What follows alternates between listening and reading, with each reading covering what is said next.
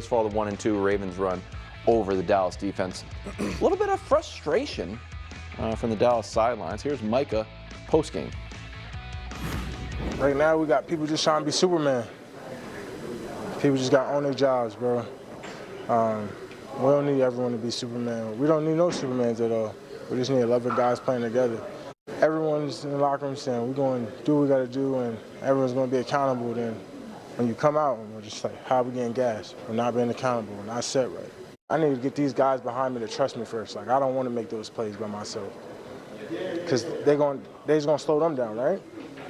So I need everyone to do that, right? Not just me. So I don't feel like I should be telling another grown man to consistently be accountable at some point. They got to take it within themselves. So every day within ourselves, we got to say, did we get better? Did I get better today? There is, is spots of true leadership there and spots of, whoa, huh? Time to hit the panic button in Dallas, Greg.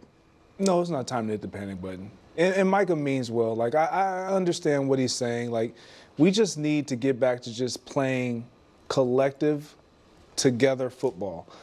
The problem is they don't have the pieces to get it done on his side of the ball. Really? With With it's a the void- personnel thing?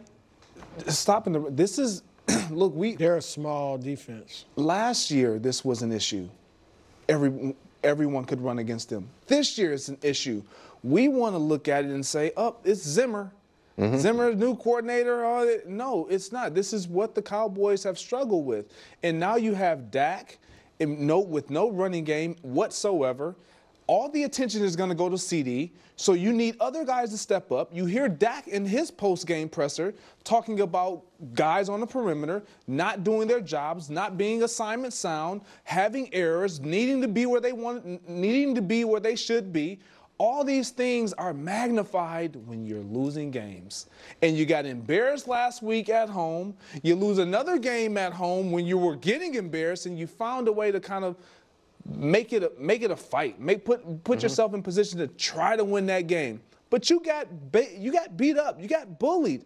This is a front running team. Absolutely. This That is a front but running that team. and again let me just so i sometimes that's like a pejorative just you know like an insult sometimes it's actually how a team is built Yes. and so i said before I, tell me if you agree they stylistically they remind me a lot of peyton manning's colts where it's like we're going to play on a fast track. We think we can score a bunch of points. Absolutely. We're going to. We've got two Bookends. awesome edge rushers, and But we we're gotta going to give 'em a force lead. right. We, if we have a lead, we are going to be able to tee off on the opposing quarterback.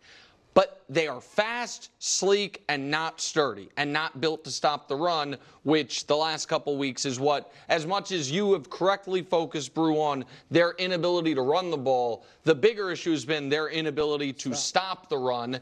And then they don't have the lead, they can't play that style, and it becomes a ball rolling mm-hmm. down. Look, I, I, I like your Indy comparison. The problem difference is Dak is not Peyton Manning. Yes, that obviously. is definitively And then he had, I mean, I don't know which. He had Wayne Reggie and Wayne Harrison. and He had two guys You had instead of. James, that you know, Yeah, it was a at running point, back. So, I mean, that team offensively was better than this Dallas team. But, Greg, I didn't like Micah.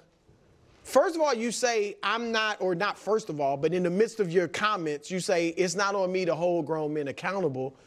Well, then don't go say it in the media. If, if you're going to hold grown men accountable, you need to do it in the locker room and say your piece to your teammates.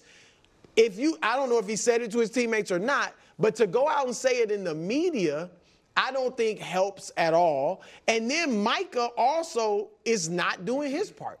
Nick has some video. Here, here's a graphic of Micah's decline. Maybe I should have used decline other than drop off. Yeah. But so far, you see the first three years of his career, he's essentially a top 10 guy in sacks and tackles for losses.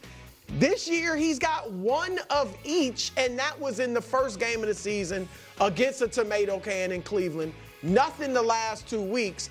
And I, look, and I'm not even trying to be funny, because Nick was talking about is this Baltimore's year to fall off? We got you got hobble watch, wrist watch, all types of watches. I got funk watch. They're on tomato can watch.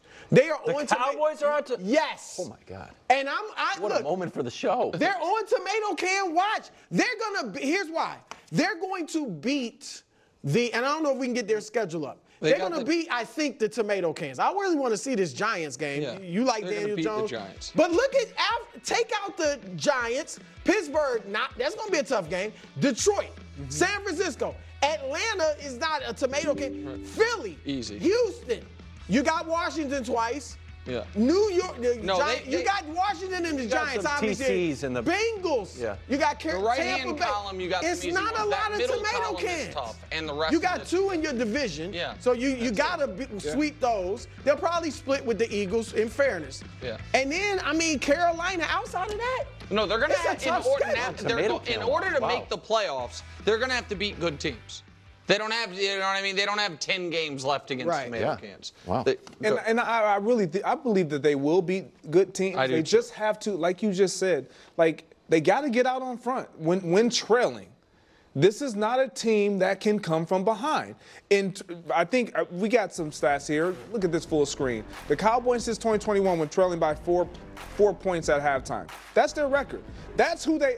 That's who you are. Yeah. Like so, when you talk about stylistically how you're built, this is why when we see them play teams like the Giants, who when they get out on a uh, get out in head, they just mollywop Yeah. them, and they they allow that allows Micah to go crazy, and everybody like even Diggs. When you have to dogfight and play a physical game, and watch a team and Derrick Henry and the Ravens say, you know what, we're gonna do exactly what the team did to you last week. We're just gonna punch you in the mouth. See what you're gonna do about it. You know what that ha- what those 11 guys on that side of the defense have to do?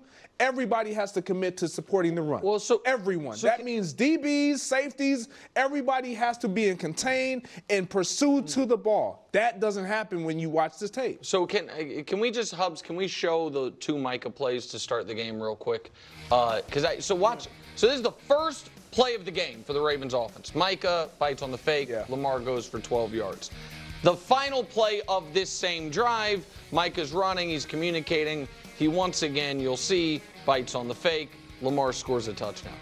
I that so my question is that is almost assuredly his responsibility to keep contained there. So no, he has to he has to go with the dive player. So he's doing so his doing job. right So he was doing okay. So He- that's what I was asking. He is doing his job.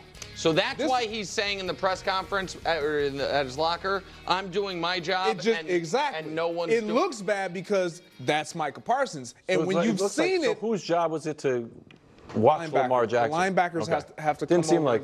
But even, that's that's even with saying like that, that but that's a flawless play But then. hold on. But uh, to to that point, even on those plays, that's what I'm saying. If you if you understand and you've identified as a collective unit that they're running the ball, now my now my DBs have to be more physical at the point of attack so that they can help out with the contain on the edge as well Gotcha. to turn the running back up in. So if if Lamar wants to keep the ball, now he has to go back into the flow of the traffic, and guys are going to make those tackles, and there's no more big plays to Do you want to hear him say that in the public though? If you're in that locker room and you know, yeah, Micah did the right thing on those plays, we blew it.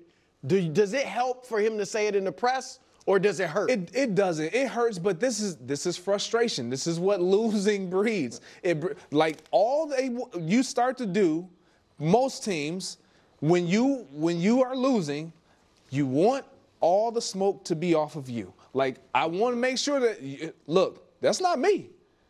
And we know Micah's a great player. So for me, even though that's not on Micah, those two plays, when you are a playmaker, you still make that play. You you do your job and He more. ain't catching Lamar. That's the. Yeah. You know. It- but, but but do you understand what I'm saying? You you you you Yeah, great watch play- you throughout watch the the dive, you plays. see Other it, plays, and you right. have to kind of play both because you know it got me earlier a couple plays ago. Yep. Okay. Uh, let's talk about Lamar Jackson, the reigning MVP. 21 and 1 against the NFC, 12 for 15 through the air. Also ran for 87, including keeper to seal the game. Here's Lamar. Interesting. It, interestingly, on a plane. Take a listen. Thanks to Marlon Humphrey. You know the flock, they gotta hear from you. You know what I mean? They gotta hear from you. Got the dub. Got the up. Keep stacking. Keep stacking. We shouldn't even be live right now. Like we need to be getting right. Yes, sir. For sure. Yeah. Go, bro. Well, no, uh, Marlon Humphrey seems to think they just blew the Cowboys out the whole game. He's like, our first win. How you feel, Lamar? I'm glad Lamar. Lamar said- had the he did right it- disposition. Right, he He did it right. He didn't, you know, embarrass him, but he was just like, look. you Embarrassed him a little bit, but what- I think the guy